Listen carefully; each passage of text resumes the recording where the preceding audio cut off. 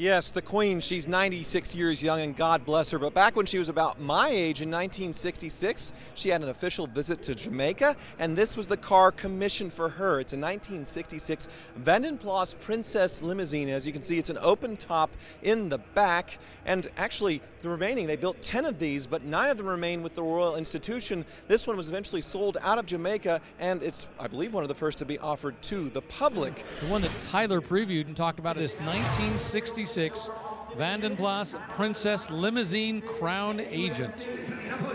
Yeah, power comes from the overhead valve, six cylinder, not a big engine, but again, we're not going racing with a car like this.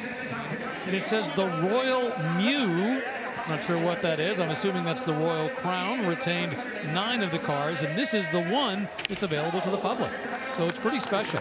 And it just sold here at Barrett Jackson for $100,000. All right, let's check in with Craig Jackson.